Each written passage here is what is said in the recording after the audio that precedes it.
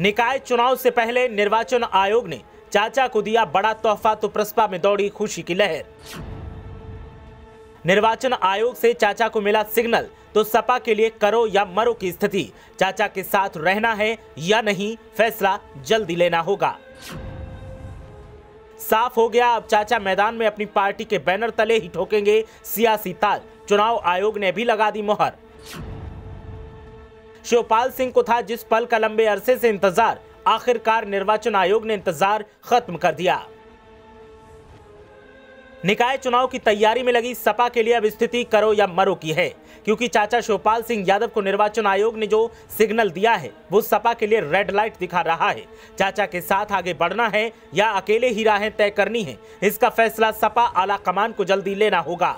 वहीं दूसरी तरफ़ चाचा ने साफ़ कर दिया है कि अगर फैसला न लिया गया तो फिर वो अपनी पार्टी के ही बैनर तले सियासी ताल ठोकेंगे। और क्या उनकी पहचान होगी, उसका फैसला निर्वाचन आयोग ने तय कर दिया। और निर्वाचन आयोग के फैसले से प्रसपा का हर नेता खुश दिखाई दे रहा है। दरअसल नगर निकाय चुनाव लड़ने की तैयारियों में जुटी प्रगतिशील समाजवादी पार्टी को निर्वाचन आयोग ने चुनाव चिन्ह आवंटित कर दिया है।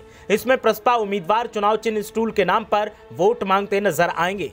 निकाय चुनाव में यही उनकी पार्टी का नया सिंबल होगा।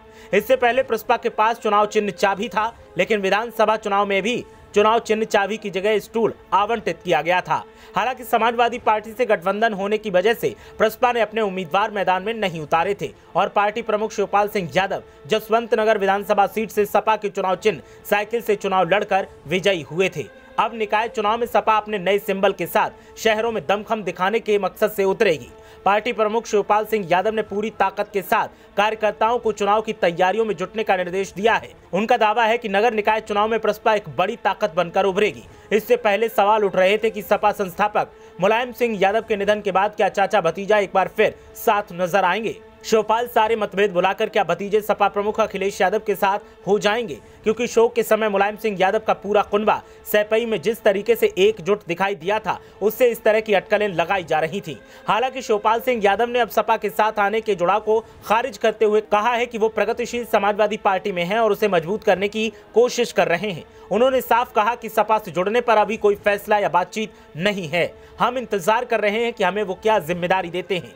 इसके बाद फैसला लिया जाएगा। अभी हम प्रसपा को मज़बूत बनाने में लगे हैं। उधर राष्ट्रीय लोक दल के विधानसभा चुनाव की तर्ज पर सपा के साथ ही मिलकर निकाय चुनाव लड़ने की तैयारी है। पार्टी के मुताबिक निकाय चुनाव में भी उसका गठबंधन बरकरार रहेगा। लेकिन चाचा शिवपाल सिंह यादव को साथ रखना है या नहीं, ये फैसला पार्टी को जल्द करना होगा। ब्यूरो रिपोर्ट, मीडिया हलचल।